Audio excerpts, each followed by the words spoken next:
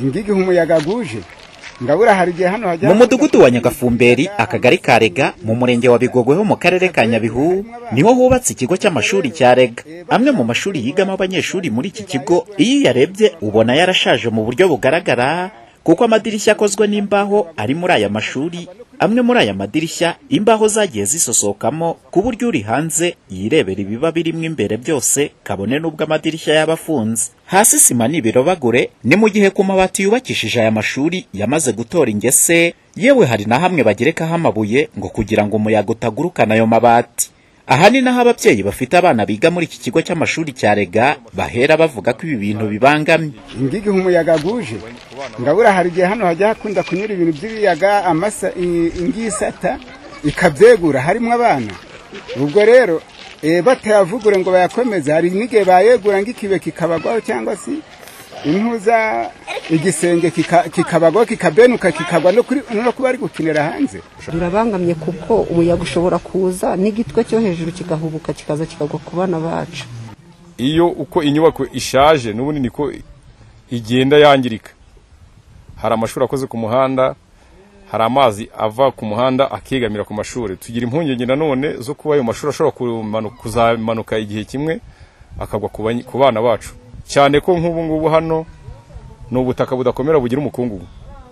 Iyo habaye nk'impeshyi umuyaga ugahuha.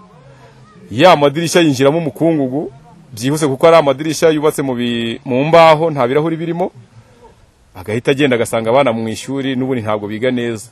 Icyifuzo ni kimwe kuri bose ngo ni uko aya mashuri yavugururwa agasa neza nk'ayandi mashuri mashya yubatswe muri iki kigo. Twifuza ko yavugururwa. Eh, tugize amahirwe eh, tukabona leta yacu yeza kuyavugurura cyangwa se kuyasanura byatubera byiza cyane kurushaho.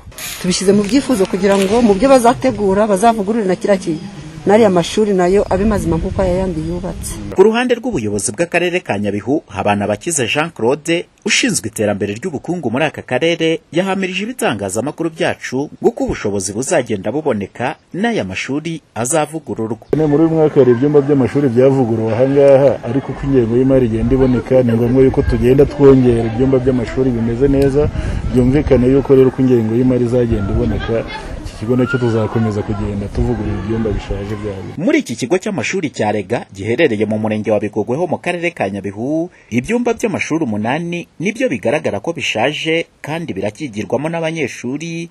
Gusa ubuyobozi bw'iki kigo bukavuga ko nta bundi buryo bwabikoramo ngo kuko bukuye abanyeshuri muri aya mashuri batabona ahandi bigira bitewe n'uko n'ibyumba bishya by'amashuri byubatswe muri iki kigo na byo byigirwamo n'abanyeshuri. Umuhoza honore flash tv mu murenge wa bigogwe ho mu karere ka nyabihu mu burengerazuba bw'u rwanda.